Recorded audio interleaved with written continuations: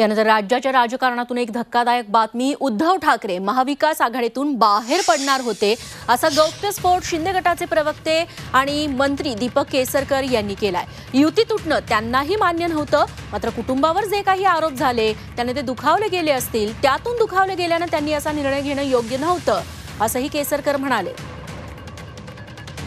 उद्धव ठाकरे हे महाविकास आघाडीतनं बाहेर पडणार होते ते स्वतः बाहेर होणार पडणार होते आणि ते पुन्हा एकदा युतीबरोबर येणार होते कारण त्यांच्या मनाला सुद्धा हे पटतं की मुळात हिंदुत्वाचा विचार आणि बाळासाहेबांची जी धोरणं होती आणि बाळासाहेबांनी जी युती त्या ठिकाणी महाराष्ट्रामध्ये घडवलेली होती हे त्यांना सुद्धा माहिती आहे. आणि मग किरकोळ जर मतभेद झालेले असतील तर ते मतभेद मिटले गेले पाहिजे हे सुद्धा त्यांना पटत होतं.